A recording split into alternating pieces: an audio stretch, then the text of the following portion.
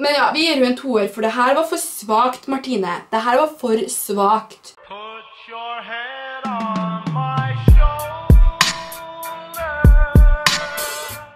Hallo, alle sammen! Det er meg, Ruby, og velkommen tilbake til en helt ny video her på min kanal. Som du leste på tittelen Hva driver jeg på med? Som du leser på tittelen, så skal jeg rate norske kjendiser sine outfits. Jeg hadde egentlig tenkt å gjøre det her på halloween, at jeg liksom skulle rate norske kjendiser sine halloween-kostymer. Men så fikk jeg på en måte aldri tida til å gjøre det. Så i stedet for så skal jeg rate deres vanlige outfits som de legger ut på Instagram. Ok, Fremtidige Ruby som popper inn her for å si at videoen her er ikke ment for å hate med noen. Jeg digger alle kjendisene jeg prater om i videoen her, og det er derfor jeg tok dem med. Så det er ikke for å hate eller noe sånt der. Jeg bare sier min ærlige mening om deres outfits, og det er egentlig bare for at det skal være litt artig, egentlig. Så da vet dere det, så ikke, ikke tro jeg hater eller noe. Jeg gjør det her for moro skyld, så yeah. Snurrfilm. Så jeg har funnet 14 kjendiser, tror jeg. Og jeg skal da si hva jeg mener om outfiten deres, og gi dem en terningkast fra 1 til 6, der 1 er lavest og 6 er høyest. Men før vi hopper inn i videoen, ta en pause, klikk abonner-knappen nedenfor, og klikk på bjella som er rett ved siden av abonner-knappen, sånn at du får et varsel hver gang jeg legger ut en video. Du går ikke glipp av noe, og det er jo bare YOLO-swag. Så nå skal jeg bare slutte å bable, så nå kan vi bare hoppe rett inn i videoen. Ok, skal vi se. Jeg har jo screenet noen bilder da. Så første bilde...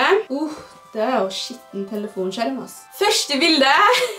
Det er av hun Johanne Norheim. Håper jeg sa navnet hennes rett. Der har hun på seg en snake-kjole med en veldig stor sånn hva kaller man det? Åpning? Nei. Kløft? Nei. Hva heter det? I hvert fall. Der puppene vises ganske godt, da. Det vises ikke så veldig mye på bildet her, men det skal vel forestille at puppene skal vises veldig godt, da. Og hvis du har vært en subscriber til meg lenge, så vet du at jeg elsker animal print, og det sa jeg jo i try-on-haulen min. Så jeg har litt lyst til å gi ekstra poeng for det. Hun var veldig flink til å liksom matche skoen med liksom kjolen. Hun så veldig sånn baddy ut, samtidig som hun ser veldig classy ut. Og sminken passet veldig godt til outfiten her. Men jeg synes kjolen var bitte litt rar, da. Det synes jeg. Det var liksom ikke noe Jeg tror ikke jeg kunne ha gått med selv. Altså, jeg kunne ha gått med printen, snake-printen, kunne jeg gått med, bare ikke akkurat den kjolen. Så jeg vil gi hun en femmer, fordi liksom hun klarte å matche alt. Hun klarte å matche sminken sin, skoene sine, og kjolen var ganske fin, men liksom ikke min type. Men jeg liker liksom printen på den, så hun får en fem. Så neste så har vi Sandra Toen. To Toen? To Toen? Aner ikke hvordan jeg sier navnet hennes.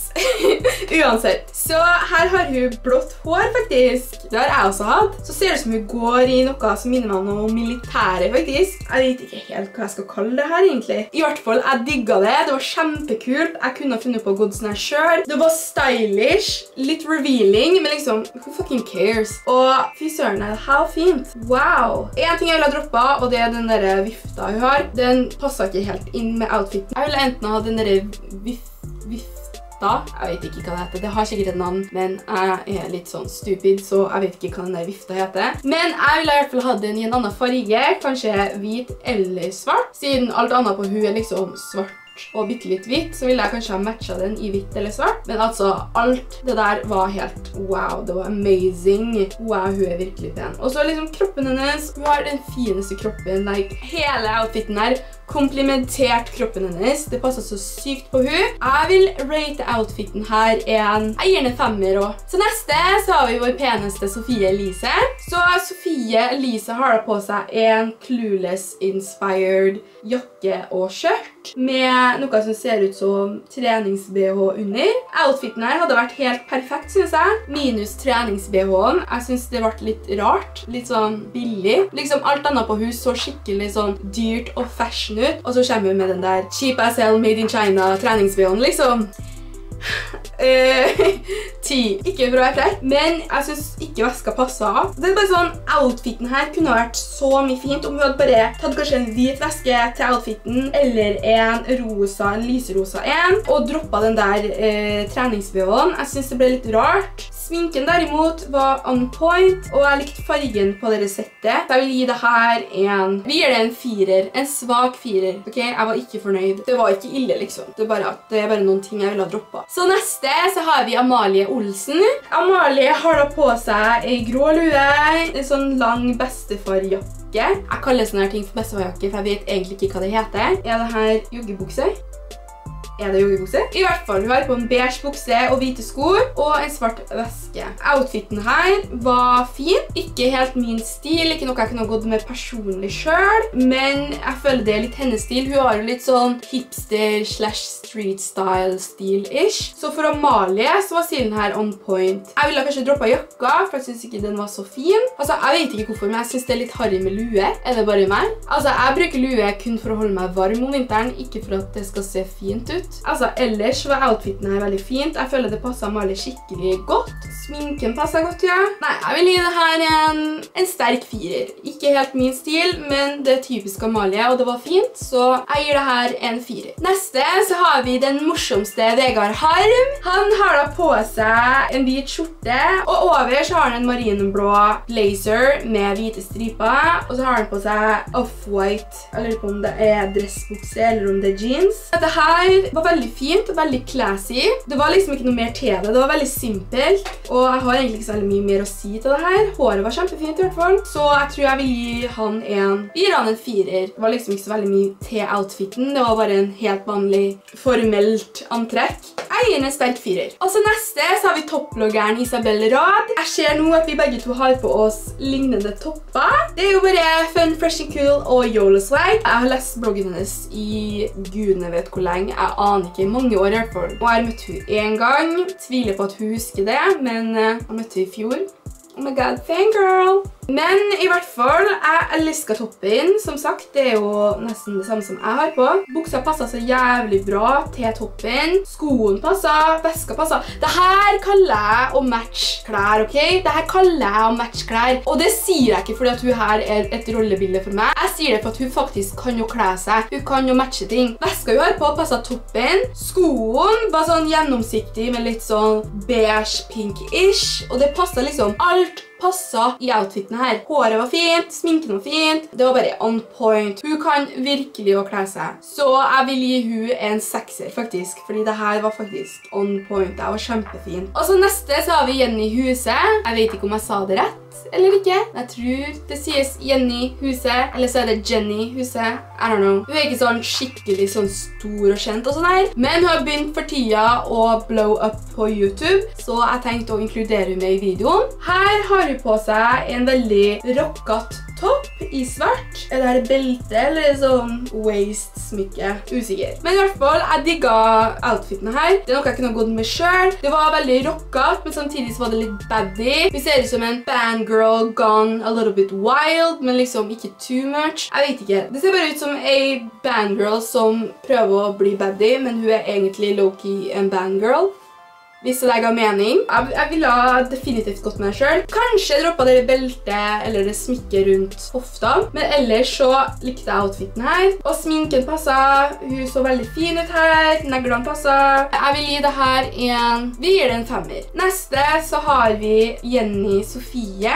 Hun er da en blogger og en YouTuber, om jeg ikke tar helt feil. Her har hun på seg et skikkelig classy antrekk. Hun har på seg en svart blazer. Jeg vet ikke om det der er en genser eller om det er en bluse under. Det var fint å være hun, for jeg føler det her er hennes stil. Men personlig så synes ikke jeg sånn her er fint. Eller misforstå meg rett. Jeg synes sånn her er fint på noen visse folk, fordi det er noen folk som klær å gå sånn her. Men meg selv, hadde ikke sett bra ut i det der. Og det var bare litt sånn, litt rar kombinasjon. Jeg synes at blazeren og blusen og skoen passet, men hun kunne kanskje ha droppet leopardskjørtet, for det ble litt too much egentlig. Men ellers så var hun ganske fint sminka, det passet til outfiten. Nei, jeg synes det var greit. Ikke helt min stil, men det var greit. Jeg vil gi det her en, en svak firer. Neste så har vi bloggeren Kristine Ullebø.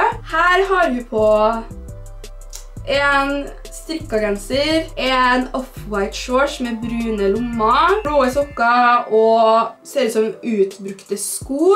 Outfiten her er et no for meg. Det var bare skikkelig messy. Jeg skjønner ikke hva som foregår engang. Jeg lurer på om hun tuller, eller om hun faktisk går sånn til vanlig. Hun så veldig ut som at øh, Hva skal jeg liksom si der uten å være slem? Fordi jeg digger jo Kristine Ullebø. Jeg har fulgt med på bloggen hennes i mange år. Men altså, jeg har sett hun kledd seg finere enn det her. Det her var bare litt sånn Jeg har ikke ord som ikke er slemt, så jeg prøver å ikke si det, liksom. Vi går rett til å rate antrekket. Jeg rater det en toer. Neste har vi Pierre Louise. Han er ikke en norsk kjendis, men jeg inkluderte han i videoen fordi han er med i så mange norske reality-serier, så han telles på en måte litt som en norsk kjendis, men han er jo egentlig svensk.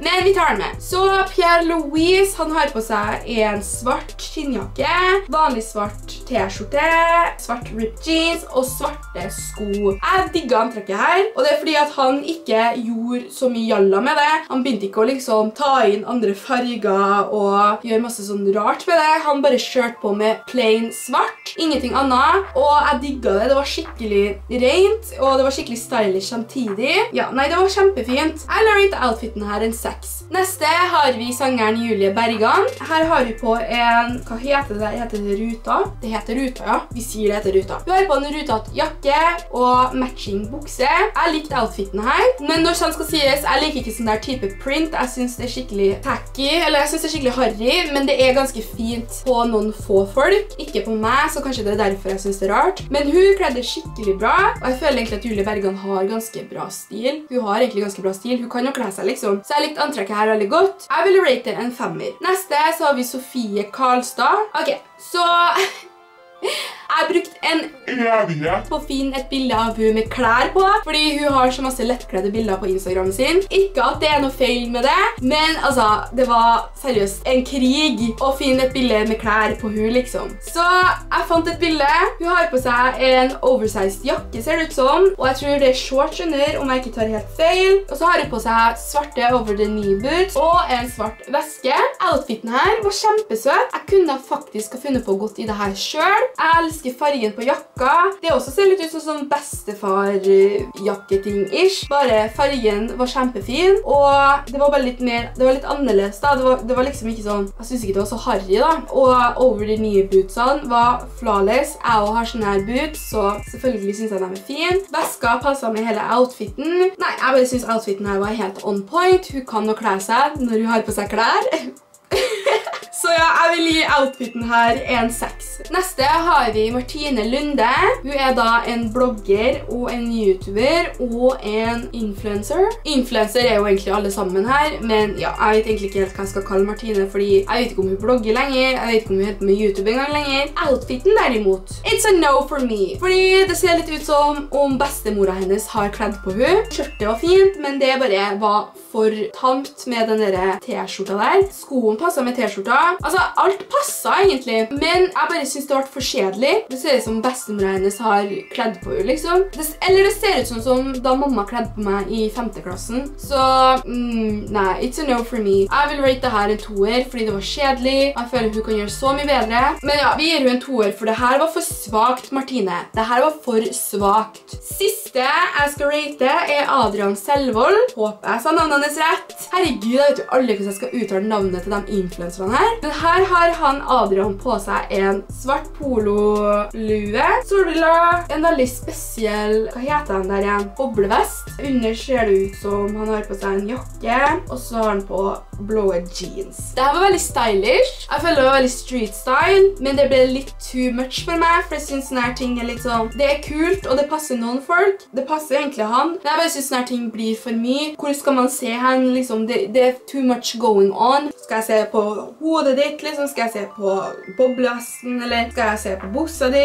Hva er det du har i hånda, liksom? Vent, hold en veske, eller? Ja, i hvert fall, det her ble too much for meg. Eh, Det var fint, though. Det passet han, men det ble liksom, hvor skal man se hen, liksom? Det er for mye som foregår. Jeg vil rett og slett gi han her en, en sterk treer. Så ja, alle sammen, det var det for denne videoen. Og hvis du likte videoen her, og er enig eller uenig i mine ratings av de her norske kjendisene, ikke glem å like og abonnere nedenfor. Og så hvis du vil, så kan du jo kommentere om hva du hadde ville rate de her ulike outfitsene. Jeg elsker å se på folk som rater andre sine outfits og sånn her. Så jeg vil gjerne se hva dere ville rate de her forskjellige outfitsene. Men ja, hvis du likte videoen her, ikke glem å like og abonnere nedenfor, og så ses vi i neste video.